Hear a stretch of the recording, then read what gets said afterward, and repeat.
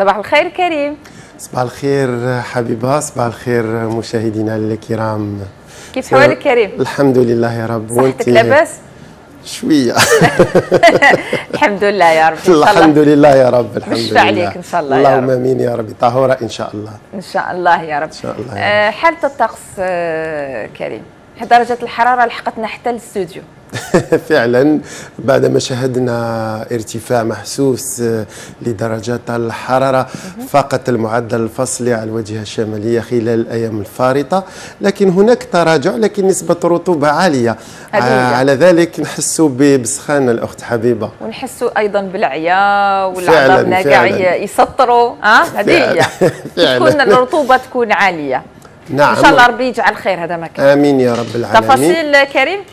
إذا كما قلت الأخت حبيبة هناك ارتفاع محسوس لدرجات الحرارة على الواجهة الداخلية لكن هناك تراجع على الواجهة الساحلية خاصة الوسطى والغربية. خلال الأيام القليلة القادمة هناك اضطراب جوي سيخص المناطق الوسطى والغربية فعليه درجات الحرارة ستعرف تراجع على كل هذه المناطق.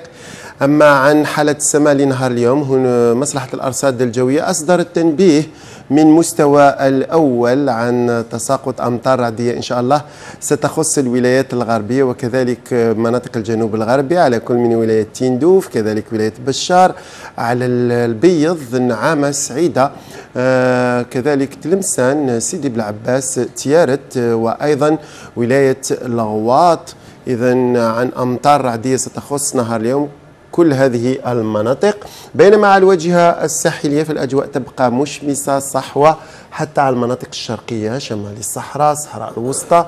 رعود منعزلة كذلك على أقصى الجنوب ارتفاعات الهوغار والتاسيل درجات الحرارة لنهار اليوم إن شاء الله. ننتظر مقاييس ما بين 32 درجة إلى غاية 33 درجة على الواجهة الساحلية. ترتفع المرتفعات الداخلية خاصة المناطق الشرقية لتقارب 42 درجة على كل من تيزي وزو. البويرة كذلك آه، على قسنطينة قلمة ميلاخ نشلة.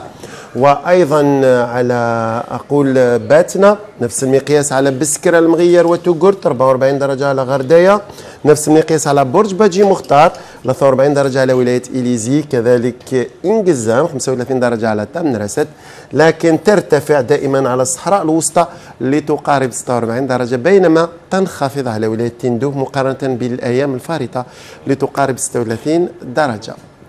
أما البحر لنهار اليوم إن شاء الله. مصلحة الأرصاد الجوية ترتقي بحر قليل اضطراب إلى مضطرب حاليا خاصة على الواجهة الشرقية. هنا رياح ضمن التيارات الشرقية تماما معتدلة تصل لغاية 40 كم في الساعة كذلك على الواجهة الغربية. لكن هنا رياح ضمن التيارات الغربية جنوبية غربية متغيرة الاتجاهات وضعيفة على السواحل الوسطى. لن تتعدى 30 كم في الساعة.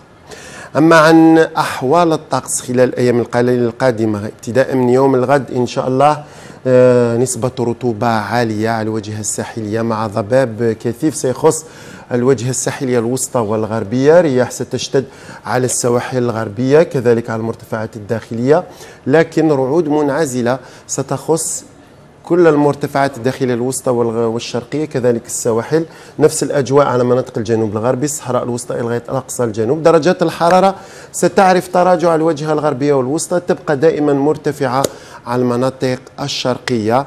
أما فيما يخص يومي الأربعاء والخميس إن شاء الله نفس الوضعية الجوية إن شاء الله. إذا اضطراب جوي سيخص المناطق الوسطى وكذلك الغربية بأمطار. على شكل زخات إن شاء الله ستخص السواحل وحتى على المرتفعات. هناك رياح كذلك ستهب بقوة على الوجهة الوسطى والشرقية.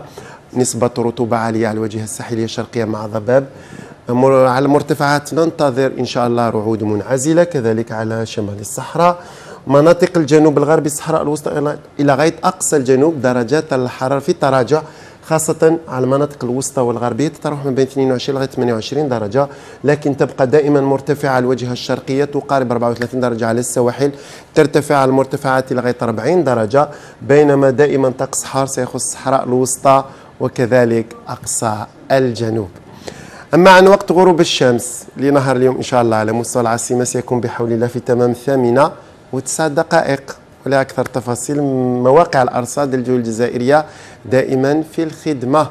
أشكركم على المتابعة. لنعود مرة ثانية لتذكير ثاني عن أحوال الطقس والعودة لحبيبة بعد